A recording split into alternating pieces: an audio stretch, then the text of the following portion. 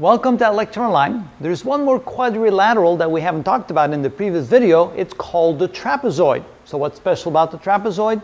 Well, the trapezoid is a quadrilateral that has two sides that are parallel, only two sides. So the other two sides are not parallel to one another, which makes it not a parallelogram.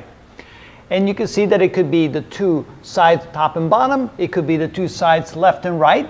And of course, if we take one of these and we turn it around, then of course we have the other type. So you can see that it only has one pair of opposite sides that are parallel to one another. Now, typically, the top and the bottom, they're parallel to each other. They're called the base when we situate it like this. And the two sides on the side here, they're called the legs. Now, sometimes it turns out that the two legs are what we call congruent. Now, if the two legs are congruent, then we call it an isosceles trapezoid. What that also means is that there's a line that we can draw halfway between the top and the bottom, halfway between the top base and the bottom base. And if we draw a line from the one leg to the other leg, that's then called the median. And that median then connects the two midpoints of the two legs. So that's called the line segment, in this case from E to F, and it joins the midpoints of the legs.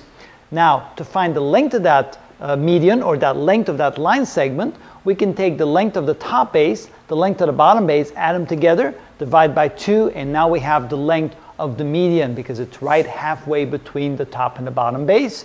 Another way to write it is it's 1 half times the length of line segment AB and the length of line segment CD. So we add the two lengths together, which is again adding the length of the top base and the length of the bottom base, divided by 2, we then have the length of the median. So a special case of the quadrilateral called the trapezoid.